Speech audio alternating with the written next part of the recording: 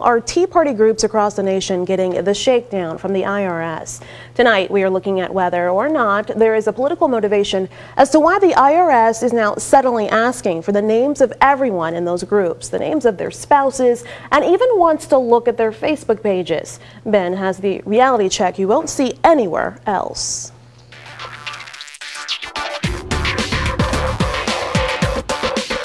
Well, it's a very strange request from the IRS, and the timing even more strange. Let's talk about the backstory here.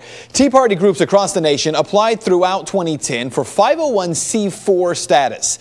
This is a tax exempt status from the IRS that allows the groups to not be taxed on any profit they might make at events. For instance, if they sell a t-shirt, make a couple bucks profit. 501c4s are allowed to take donations, but those donations are not tax exempt. Again, hundreds of requests were made from groups across the nation in 2010, but it was not until the end of January of this year that these groups heard back from the IRS. They all did within just a matter of days of each other. Hundreds of Tea Party groups in seven states. The letter to each group from the IRS stating basically the same thing.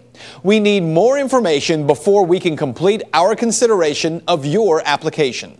Uh, granted, the IRS must do its due diligence by looking into any group applying for 501c4 status. But now we get to the questions and information the IRS is asking for these groups to provide. Uh, for instance, have you added or replaced any board members since 2010? Include a resume for each. List each past or present board member, officer, or key employee, and members of their families who have served on the board of another organization. Does your organization promote or publicize yourself using an internet social media such as Facebook? Please list the social media outlets and provide hard copy printouts of all the pages. And it goes on from there.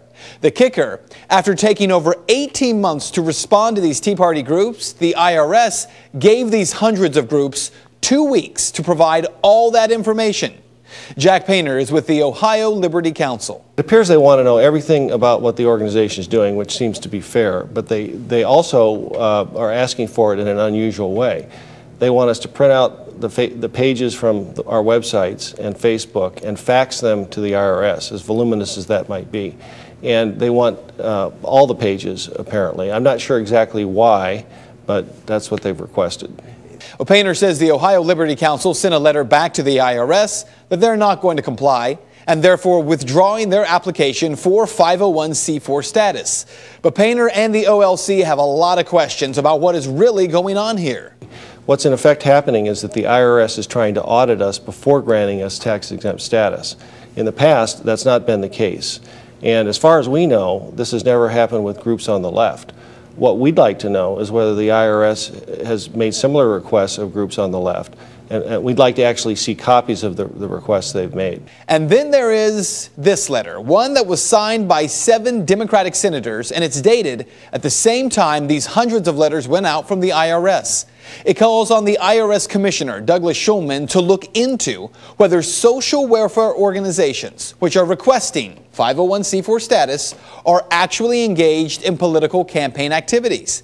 Now, Painter points out rightly that 501c4s, which include labor unions, are allowed to contribute to political causes so long as it is not the primary function of the organization. It's my understanding that lots of organizations have that status, including, including union organizations.